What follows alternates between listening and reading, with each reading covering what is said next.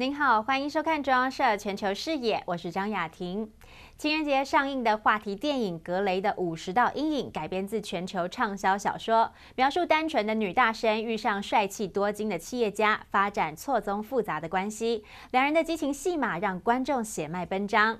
另外，霹雳集团暌违十五年再次推出电影，耗时三年半，斥资三点五亿元，完成全球首部三 D 布偶动漫《奇人密码：古罗布之谜》。从操偶到后置，全部都是 MIT。布袋戏偶还将首度开口。说国语颠覆观众印象。我一生的使命就是要帮阿西找到万全。只要有本女侠在，万事 OK。台湾霹雳布袋戏相隔十五年推出第二部电影《奇人密码：古罗布之谜》，结合 3D 动画技术，带观众身临其境。抓紧喽！故事描述身怀武艺的兄妹党，为了寻找木头机器人需要的稀有能源，前往西域展开奇幻冒险。片中戏有脸孔细致、动作生动，加上磅礴的视听特效，带给影迷耳目一新的感受。Madagascar. All right, you give us the good.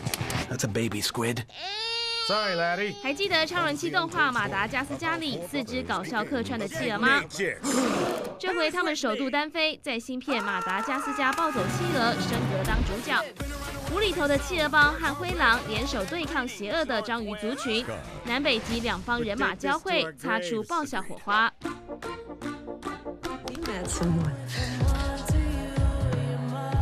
Be free. 畅销情欲小说《格雷的五十道阴影》在全球书迷期待下改编成电影上映。英国演员杰米多南和美国女星达科塔强生为戏牺牲色相，演出尺度破表的激情戏。本片描述年轻帅气的企业家诱惑单纯的女大学生，两人点燃爱火，展开一段错综复杂的情爱关系。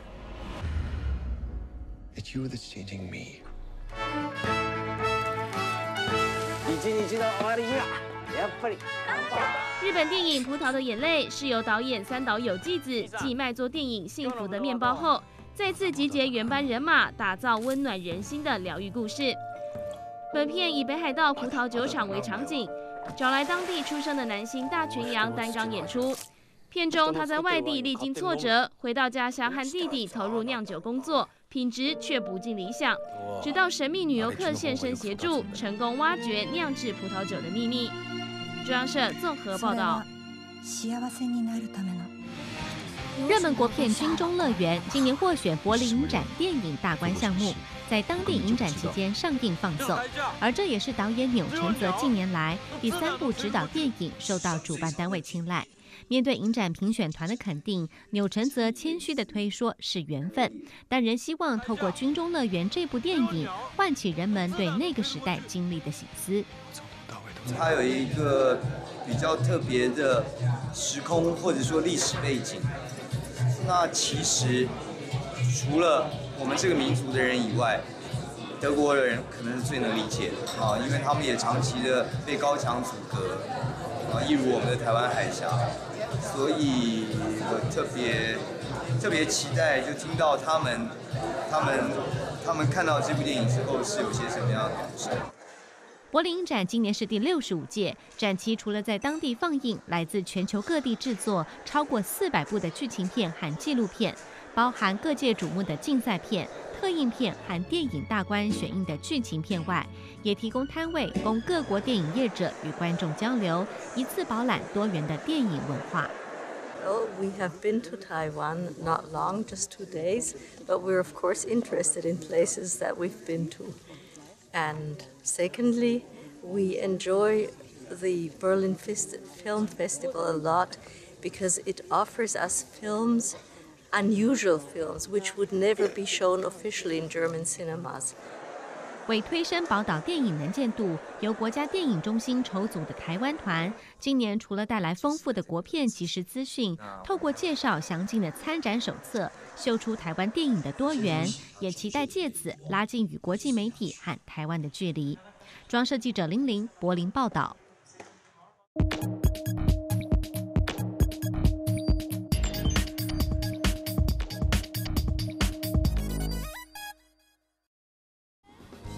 每年四月在南台湾垦丁登场的春浪音乐季，今今年庆祝十周年，特别企划王牌阵容，网罗萧敬腾、叮当等流行乐大咖开唱，表演尺度不设限。呃，热闹的音乐跟情歌、rock 啊、disco 都是绝对会有的，所以啊，我相信气氛一定是非常好。可能大家一直都习惯听我唱情歌，但当天其实自己也不会让自己太安逸。希望可以能够有比较，呃，比方说舞曲啊，比较性感的部分这样子，然后有 rock 的部分。另外，张震岳和 MC Hotdog 等嘻哈饶舌的指标人物，则是春浪常客，到时候也会带来盛大的嘻哈派对。跟他们在一起，就可以回到那种很嘻哈的感觉，我是觉得还蛮爽的，因为我自己也老了。有时候你说像热狗说啊暖那个气氛，我觉得啊也不想暖，然后就觉得有点累。但是跟他们在一起，就有回到年轻的感觉。至于艺人是否适合代言酒品的话题，最近引发热烈讨论。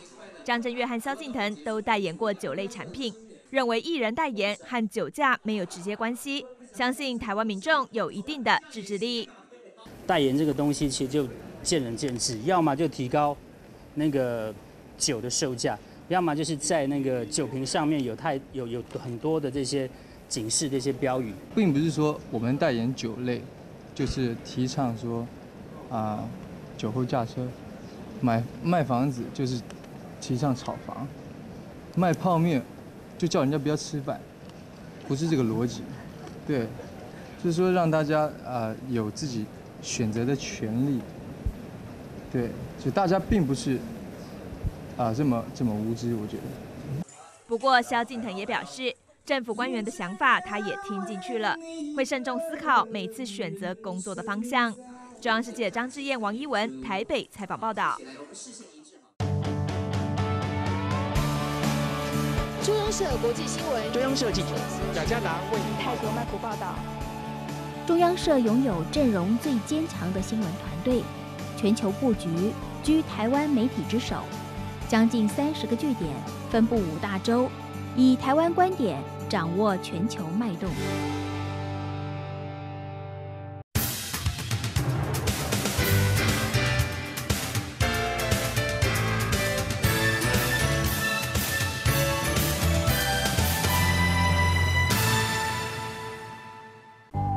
家好，我是 Seven Eleven 统一师队罗锦龙，在新的一年祝福你们新年快乐。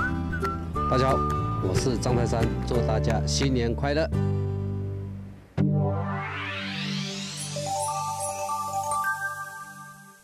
我们最大的掌声，接下来欢迎王力宏。歌手王力宏帅气现身马来西亚，暌违四年再发新专辑，粉丝依旧死忠支持。签唱会上，歌迷万头钻动，挤爆现场。显示，就算王力宏结了婚，当了爸爸，人气魅力依旧不减。四年，我拍了四部电影，对，其实一直没有闲下来啊，也做了一个全球的火力全开巡回演唱会，对的，也结婚了，也生了小孩。沉浸在家庭幸福的王力宏，对于记者追问何时生第二胎，他一脸腼腆尴尬地说：“女人太伟大了，自己只能生产电影和音乐。”不知道怎么回答这个问题，会不会考虑？这个要要要问静蕾。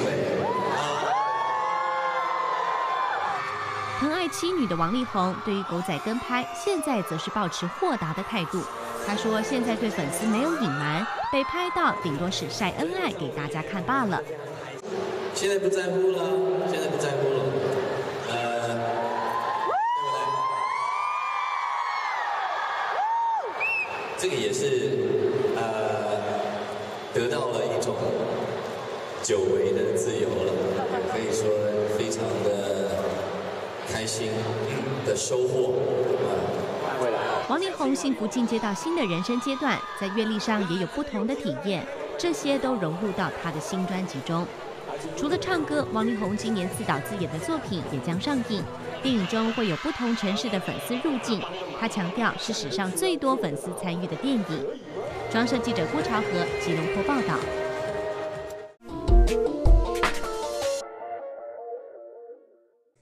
杨代刚、郭宏志、王建民和陈金峰，平常没什么机会碰头的四大天王，这回合体到底为了哪一桩？